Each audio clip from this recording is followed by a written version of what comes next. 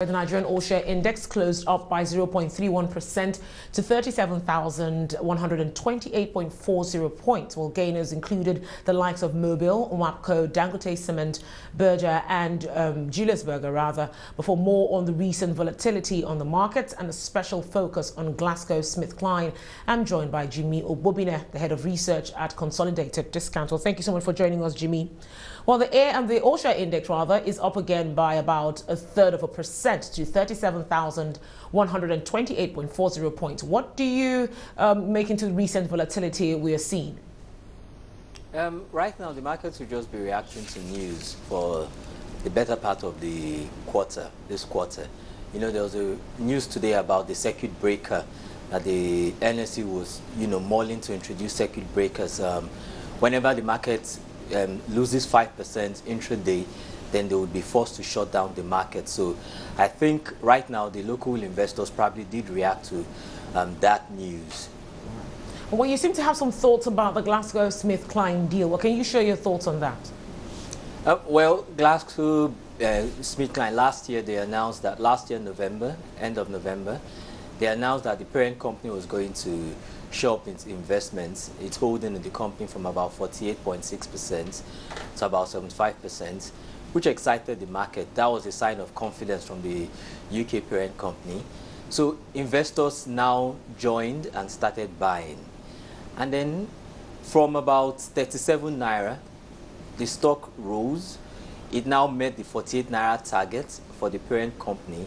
And the rally didn't stop till it got to 67. And then investors seem to react lately this week to the news. You know, there, were, there have been some press reports this week about Glaxo. Um, there's been an article in the press from a South African investor who has about $7 million in Glaxo, um, more or less saying that the parent company cannot be seeking to buy it right now at 48 because that will be a steep discount to the current valuation. Um, as a follow-up to that press, SEC has come out, the Security Exchange Commission, the spokesman has come out to say that we will not be intervening in any price conflict.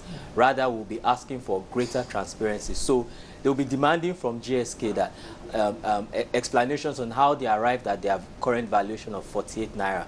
So I think that's what's actually affecting the stock right now. The market is reacting to all these um, issues. You really do not know where you stand. If you bought Glaxo at 67, 60 to 67 naira levels, then you're probably a loser right now. I think the real winners and gainers are those who bought in the first few days within below the 14 naira targets and below the 14 naira levels it was at, as at the period of the announcement. So that's actually the gist with uh, Glaxo right now. Uh, well, I, I, well I, I, see there are fears um, that it might also, um, it's raising some questions like it, like it did during the um, Nigerian Bottling Company delisting of 2010 and 2011. Why do you think there's similarities to what's going on now and what happened then? Okay, now, um, Nigerians are not used to M&A deals in such big names like Glaxo and Nigerian Bottling Company. So I think it's understandable if the rule books did not really focus so much on that at the beginning.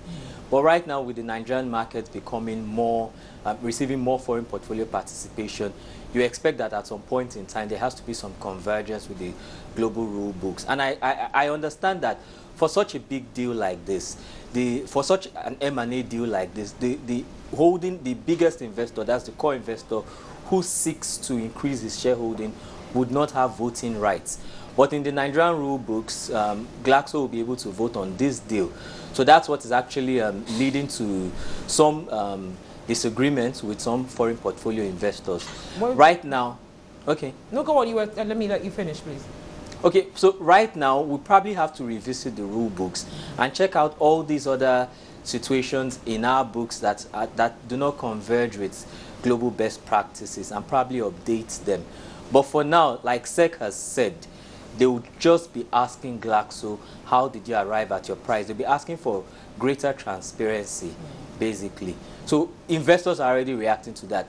What that seems to say is that if Glaxo can defend how it arrived at its 48 naira pricing, then SEC would say go ahead with the with the transaction. So everyone, so I think right now we're going to see some um, um, some repricing of Glaxo to come back to around that 48, 50 naira level. So that's why you see investors selling off. I'll probably be doing the same if I bought it at around 60 naira. All right, well, looking forward to it coming down. Now, um, should we see more sell downs in the share price of, you know, um, Glaxo, just like you mentioned? Now, you think, because you think the real losers in the deal would be those who purchased at the 60 to 67 naira levels?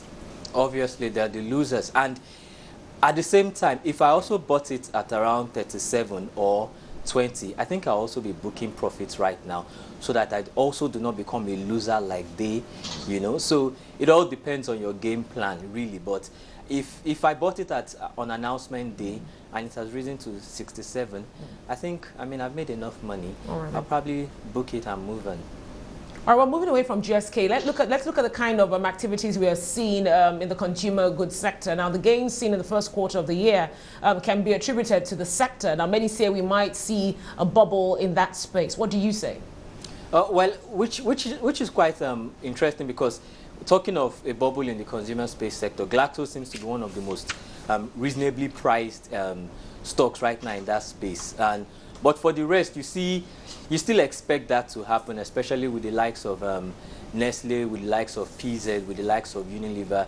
You still expect that there will be more portfolio rebalancing. GTB has announced, um, they've announced that they're going to have a meeting, and investors are already looking into the fact that the meeting will come out to declare an interim dividend.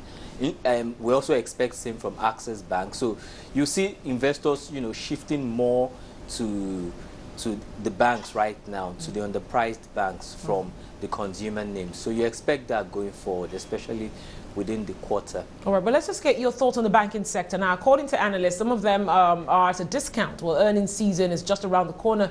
Do you think investors will start taking positions? I think investors will start taking positions, okay. but I've spoken to quite a number of people, mm. and the feeling I get is this. People are still skeptical about the banks, interestingly.